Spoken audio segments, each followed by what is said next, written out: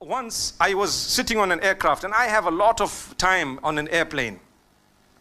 And I had an atheist sitting next to me, and we were talking about faith, and he said, You guys are very bad. The Muslims, I said, No, you get good and bad in every faith. He said, Not Islam.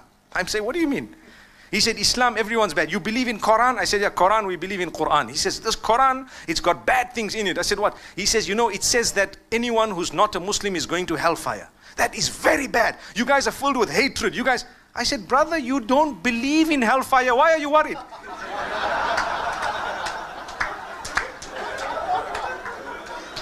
That's the irony.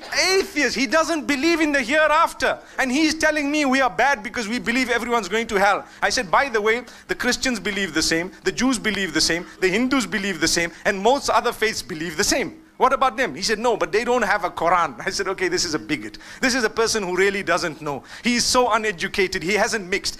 I learned more about other faiths and inclinations and different types of people when I traveled the world. Subhanallah.